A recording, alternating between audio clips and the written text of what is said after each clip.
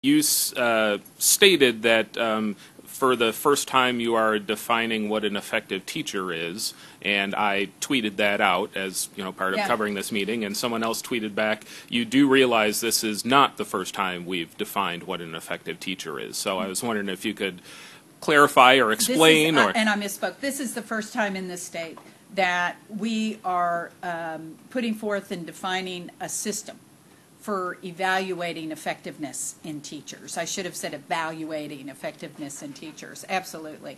And um, we're just thrilled because the philosophy of this commission is so very positive and is united on this, and that it is a way for us to assure that we have an effective teacher in every single classroom.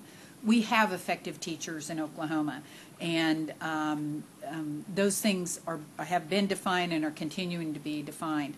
This is a system in our state that, for the first time, we will be able to um, all agree on a system for evaluating that, and so and then and to train as well on how to evaluate it. and it was mentioned, uh, you know, accepting public comment, and I think something like 800 teachers or something have responded already. Already, already. We put it out and uh, are having a robust uh, type of comment from teachers. I know there'll be a lot of questions about this, and uh, we invite them to the meetings and invite even more comments and questions.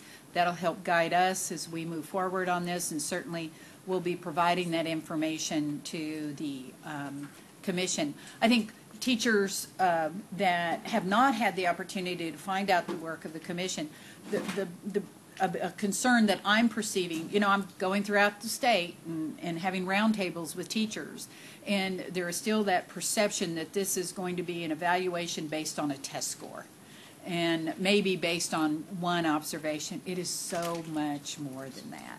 Um, it is really a system that will allow teachers to really um, be able to uh, focus on their practice of teaching, if you will, the art of teaching, and continuously get better. But it's also a system where we can identify exemplary teachers and celebrate them and hold them out as a model as well.